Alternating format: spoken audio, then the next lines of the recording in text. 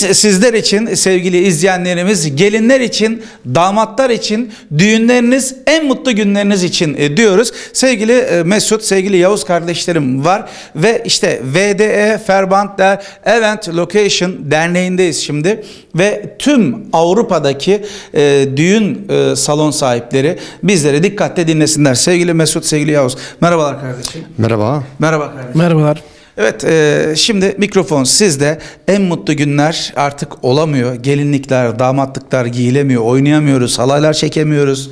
E, neler diyeceksin? İlk önce tabii ki üzgünüz. Ee, özellikle e, Kuzey Vesfalya bölgesi için kurduğumuz bir dernek var. Ee, bu korona krizi dolayısıyla 3. ayın 15'inden sonra e, yaklaşık e, 50-60 kadar düğünü salon başı yapamıyoruz.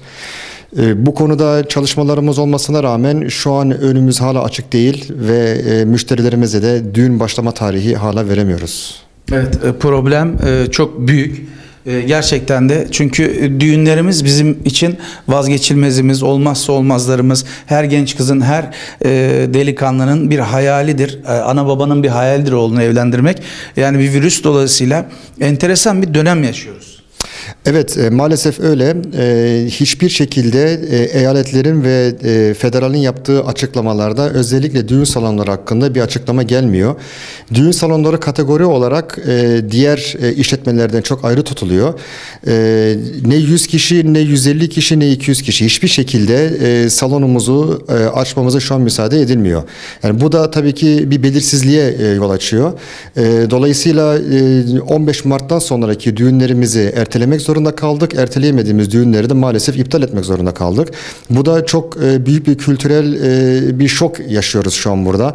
E, bildiğimiz, e, şimdiye kadar alışık olduğumuz e, tarzda düğünlerin bundan sonra nasıl olacağını da bilmiyoruz. Yani bu da bir belirsizlik. Evet ve belirsizlik kadar kötü bir şey yok sevgili izleyenlerimiz. Sevgili Yavuz, düğünlerimiz en mutlu günlerimiz. Belirsizlik e, hakim. Neler diyeceksin?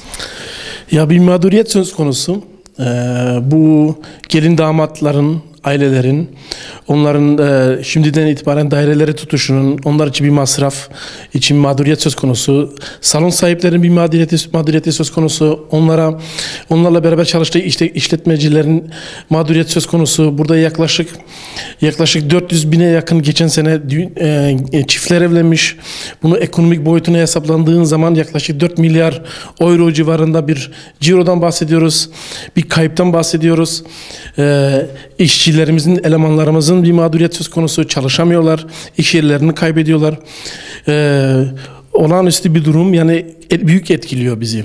Evet. Sevgili izleyenlerimiz gerçekten de hani e, dışarı bakıyorsunuz, sokaklara bakıyorsunuz, kapalı bir mekana girdiğiniz zaman e, maske takıyorsunuz. Bugün nargile kafelere izin veriliyor. E, yani yanlış anlamasınlar bizi nargile e, kafe sahipleri de ama nargilenin, dumanın, ağızdan çıkanın olduğu bir yerde virüsün yayılması daha kolay iken e, düğünlere izin verilmemesi e, veya e, saçma sapan e, yasakların olması gerçekten de saçma. Bizi çok rahatsız ediyor. Gerçekten sizin söylediğiniz gibi saçma bir durum. Yani e, konseptlerin e, oluşum, oluşulmasından sonra taleplerimizden e, taleplerimizin e, eyalet e, başkanlığına, eyalet e, başbakanlığına gönderdiğimiz halde bir cevap gelmedi. Burada e, e, salon salon sahiplerinin net ve tarih istiyorlar. Yani bir, ön, öngörü istiyorlar. Hangi tarihte itibaren, ne zamandan itibaren çalışabiliriz? Yani orada bir e, belirsizlik var. E, bu bizi çok rahatsız ediyor. Şunu söyleyebiliriz. Bu son günlerde özellikle dün veya e, daha önceki günleri de alabiliriz. E, Dışarılarda e, büyük e, demonstrasyonlar yapılıyor. Büyük eylemler yapılıyor. E, 200 kişinin, 300 kişinin iznin alındığı büyük eylemlerde Berlin'de gördüğümüz gibi, Stuttgart'ta veya Dortmund'da gördüğümüz gibi binlerce insan toplanıyor. Bu eylemlerin nedeni e, bir kenara bırakalım biz de e, ırkçılığa karşıyız. E, özellikle Am- e, Amerika'daki e, konu e, üzerine yapalım. Dünyada nerede olursa olsun karşı. Evet biz bu biz de karşıyız. Yani e, bizim derdimiz onların konusu değil. Bizim burada e, çifte standart uygulanmasından şikayetçiyiz. Yani hak hukuk olacaksa herkes olsun. Çok doğru söylüyor sevgili izleyenlerimiz. Mesele şu. Bir yerde bir protesto düzenliyorsan bu bir ortada bir sağlıkla ilgili bir sorun varsa sen 10 bin kişi, 20 bin kişi, 30 bin kişi bir araya gelebiliyorsan geliyorsa e, düğün dernek e, işte bir e, dernek kurulmuş harika örnek davranışta bulunmuşlar 200 kişi bir araya gelebilirsiniz diye ama orada da 10 bin kişi bir araya geliyor yani bu gerçekten de saçma. E, Kesinlikle hiçbir e, sosyal mesafe gözetmeksizin bakıyorsunuz e, e, zabıta, polisler herkes e, etrafta E, millet e, hiçbir şey olmamış gibi görüyor. E, biz e, hijyenik konseptimizi vermişiz içeriye. Özellikle e, bütün e, gerekli olan e, uygulamaları yapma e, teatüte vermişiz. Bütün her şeyimize hazırız diyorsunuz. Son olarak neler diyeceksiniz? Siz söylediğiniz gelin ve damatlara özellikle sesleniyoruz burada. Gerekli olan mercilere, gerekli olan devlet dairelerine müracaatlarını yapsınlar. Düğünlerimizin bu şartlar altında niye devam etmediğini sorsunlar. Sadece bizim çaba göstermemiz yetmiyor. Ee, herkes burada üzerine düşen görevi yapsın derim. Size de ayrıca teşekkür ediyoruz. Bizim için, burada olduğunuz için e, bizim tarafımızdan ve derneğimiz tarafından ayrıca teşekkürler. Baykuş ekibine çok teşekkürler. Bizim için bize burada ses olma ihtimalini verdi, imkanı verdi. Çok teşekkür ediyoruz. Ee, ATV ekibine de çok teşekkürler. Eyvallah. Ben de size çok teşekkür ediyorum. Onlar birleştiler sizler için sevgili izleyenlerimiz ve e, sizin en mutlu gününüz için, e, kendileri için, hepiniz için, bizler de onlar için buradayız sevgili izleyenlerimiz. Bizler de desteğimizi sunuyoruz. Sizler için diyoruz. Lütfen duyarlılığınızı gösterin. O mutlu günlerimizde, düğünlerinizde, düğün salonlarımızda hep beraber el ele, gönül gönüle halaylarımızı çekelim. Muhabbetimize devam ediyoruz. Sevgili kardeşim merhabalar. Merhabalar. Merhaba. Merhaba. Merhabalar merhabalar. Merhaba. Evlisiniz. Evet. Evlisiniz. Peki. Ee, kaç çocuk var? Ki. İki. Bir kız? Yok ikisi de oldu. İkisi de oğlan. Peki kızın olsaydı senin gibi bir adamla kızının evlenmesini ister miydin? Karakteri olduğu gibi sen. İsterdim. İster miydin? Evet. Ya sensin yani. Senin gibi bir adamla evlenecek. evet. Niye? Neyim var benim? Bir şeyin var mı diye soruyorum. Yok işte bir şeyim Ha yok. bir şey yok yani Yok. ister. Senin kızın olsaydı böyle bir adamla kızın karakteri Kesinlikle. ister miydin? yani? İsterdim. Kesinlikle. yani. Kesinlikle. Peki e, senin kızın Evet. kaç tane? Bir tane. Bir tane kızım var. Peki e, o zaman ilk önce e, eşine soralım. E, sevgili kardeşim kızının senin gibi bir adamla huyu e, yani huyu suyu her şeyi senin gibi bir adamla evlenmesini ister mi? İsterdim. İsterdin. İsterdim. Vay düşünmeden yani. Biraz düşündüm ama isterdim. Biraz düşün. Biraz. Sevgili izleyenlerimiz gerçekten de zor bir soru. Kendinize de bir sorun. Siz ister miydiniz? E, İstemezdim. istemezdin. Romantik değil çünkü eşim. Romantik kızınızın eşiniz gibi bir adamdan evlenmesini istemezdiniz. Çünkü Geçenlerde evlilik yıl dönümünü unuttu. unuttuk. Ama bu genelde erkeklerin bir problemi. Sadece bu yönden mi diyorsun? Evet bu yönde. Diğer yönden İsterdim. ister ama sadece e, romantik değil o konuda diğer erkekler gibi genelde yüzde sekseni sevgili kardeşimiz. Benim gibi galiba. Galiba. Benim gibi galiba. Bakalım büyüyecek kızımız anne olacak inşallah. Bakalım nasıl karaktere sahip bir eşi olacak değil mi? Evet, daha çocuk anlamıyor sevgili izleyenlerimiz. Diyoruz kameralarımıza el sallıyoruz. Efendim muhabbetimize devam ediyoruz.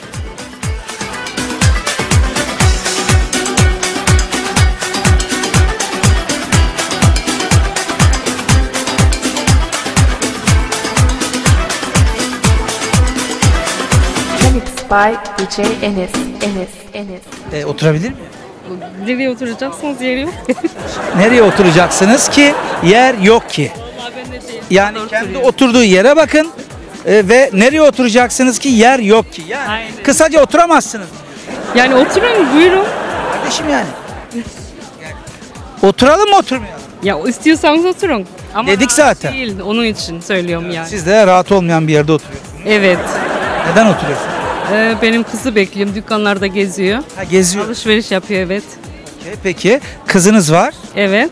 Peki e, kızınızın babası gibi biriyle evlenmesini ister miydiniz? Baba. Karakteri, her şeyi aynı. Babası gibi biriyle evlenmesini ister mi annesi?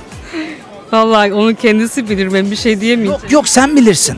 Sen söyle. Senin isteğin bu. İster miydin? Yani şu an e, Şu an değil. Sana bir soru soruyorum. Kızının babası gibi aynı karaktere sahip biriyle evlenmesini ister miydin ya? ya benim e, ben şimdi eşimle aram iyi olmadığı için yani istemezdim. Eşinin karakterini biliyorsun. Nasıl bir adam olduğunu biliyorsun. İster miydin, istemez miydin? Anlaşıldı. Cevap vermemenden belli. İstemiyorum. İstemezdin yani. İstemezdim. Hayır. Evet sevgili izleyenlerimiz kızının babası gibi karaktere sahip biriyle evlenmesini istemezdin. Ama gene de kendine kalmış. O beğeni beğenebilir yani.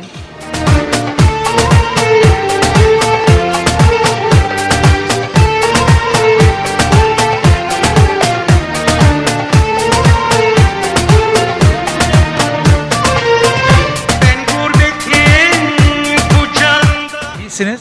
Geziyorsunuz. Evet. Vay ne güzel ne güzel geziyorsunuz. Geziyoruz evet. Vay evlatlar. Aynen. Evlatlarınızla da mı aranızda sosyal mesafe var? Ya dikkat etmeye çalışıyoruz ama aile içerisinde sosyal mesafemiz yok. Yani ama eşiniz size bir mesafe koymuş yani. Niye ablacığım yani yaklaşın şöyle gelin gelin gelin. Aile arasında sosyal mesafe yok. Kardeşim yani ben de sizin ailenizden biriyim yani. Aile içinde sosyal mesafe var mı? Yok. Yok. E ben sizin kuşunuz değil miyim abicim ya? Gözünüz seveyim ya. Ben senin baykuş abin değil miyim ya? ya benimle niye aranıza mesafe koyacaksınız? Bugüne kadar koymadınız. Şimdi mi koyacaksınız yani? ya? Hayır. Bu koronadan dolayı mı koyacaksınız yani? Aramıza bir sosyal mesafe mi koyalım? Yok. Yani? Korona mesafesi mi Yok, koyalım? koymayalım. Ben senin neyinim ya? Baykuş abin değil miyim ben? Evet bak. Yani değil miyim canım? Tabii canım. Kardeşin değil miyim ben senin? Evet aynen öylesin. Karışmışsın Yani gerçekten. o yüzden senin ailenle nasıl aranda sosyal mesafe yoksa benimle de aranızda sosyal mesafe olmaması lazım. Çünkü e, koronadan e, korona kuşlara gelmiyor abi. Rahat olun yani. Kuşlara bulaşmıyor. O yüzden rahat olun. Kuş gribi değil. Bir kuş gribi vardı ondan korkun yani. Bulaşıyor bana. Grip bulaşıyor kuş gribi. E, memleket ne? Artvin. Artvin. Evet. Ana ne güzel. Yenge? Ben de Artvinliyim. Artvin. Evet. Kaç çocuk var? köylüyüz. İki çocuğumuz var. Ee, çocuklarınızın sizin gibi bir kadınla evlenmelerini ister miydin karakter olarak? Ee, sevgi olarak, kızma, gülme, her şey. Sen, senin gibi bir kadının karakteri ister miydin sen? Eşin gibi biriyle Tabii, evlensinler. tabii ki isterim. Tabii. Sonuçta köylü. sen ister miydin? İsterim. Ama bir çocuklara sormak lazım. Tabii ki onlara soracağız. Önce size onlara sor. soruyoruz. Olayı yumuşatıyoruz. Şimdi onlara soracağız. Annenizin karakteri, kızması, sevmesi, bağırması. İster miydiniz böyle bir kadınla evlenmek? Evet tabii ki. Tabii ki. Ne güzel. Yaş kaç? 13.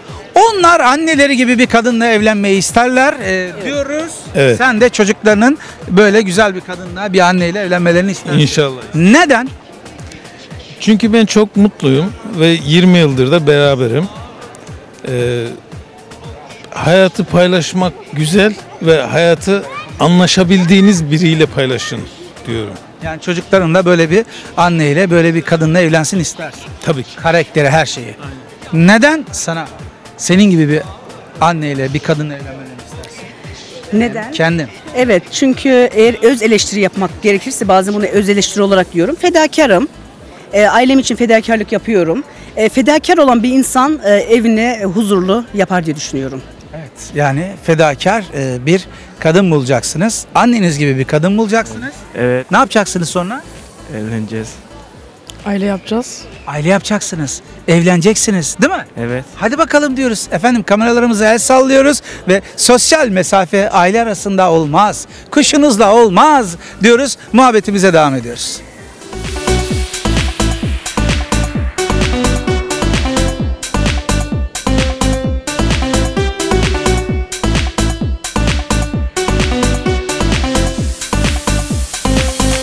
İsim? Burak. Zehra. Kübra. Kübra. Ne oluyorsunuz? Eşim. Eşin? Baldızım. Ana, baldız. Ne güzel evlisiniz. Evliyiz. Ee, kaç yıllık?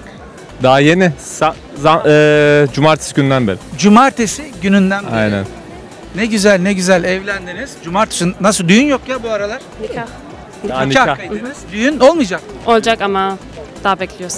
Daha bekliyorsunuz. Evet yani işte bu korona e, her şeyi mahvetti. Düğün de vardısın değil mi? Düğün salonu Va- düğün bir buçuk ay önce olacaktı düğün ya. olacaktı. Vay be. Tam böyle gelinlikler hazır, düğün salonu hazır, ev hazır değil mi? Aynen. Vay be. Nasıl böyle psikolojin e, bozuldu mu? Üzüldün mü? Ya ama Yani be- bendeki soruya da bak yani. Tabii ki üzüldü yani. Gelinlik giyecekti, damatlık giyecekti. Öyle olacaktı ya. Peki aynı evde mi kalıyorsunuz, yaşıyorsunuz? Yok şu an daha değil. Tabii canım yani. Usuller Nikah uygun olmuş ama. olabilir. Yani. Ama beyaz gelinliğini düğünlü yapmadan aynen. olmaz. Olmaz. Evet korona 5 yıl sürse de 10 yıl sürse de Allah korusun o zaman bekleyeceksin. Aynen. Yani sen değil sen bekleyeceksin. Bekleyeceğim evet. Doğru mu? Aynen öyle. Yani e, o zaman bir dileğin vardır mutlaka en yakın zamanda. en yakın zamanda bu eee, şeyler, Neyler? eee Beschränkunglar, şeyler, ne? kısıtlamalar. Ha kısıtlamalar Birazcık, daha- birazcık daha eee, şey yapsalar, serbest bıraksalar da düğünümüzü yapsak. düğünümüzü yapsak. Kavuşsam diyorsun eşime. Aynen. Evet sevgili izleyenlerimiz eşin var ama kavuşamıyorsun. Evlisin ama eşinle birlikte değilsin. Öyle. Yani araban var arabana binemiyorsun. Ee, tatile gidemiyorsun. Ee, evin var evinden dışarı çıkamıyorsun. Yatın var yatına binemiyorsun. Aynen. Öyle değil mi yani? Düşün ya adamın eşi var ama eşi evinde kalmıyor ya. Öyle. Abi aslında ben sana selam çakmaya gelmiştim ya. Ya ben senin var ya şu Türkçenizi yerim ben sizin. Vallahi. Selam çakmaya. Sen, abi, sen, selamlaşmaya gelecektim yani. Aynen aynen. Hadi bakalım e, diyoruz. Hep birlikte e, bir selam yolluyoruz. Her yere diyoruz. Muhabbetimize devam ediyoruz. Sağ ol. Yok lan. Tabii tabii ver.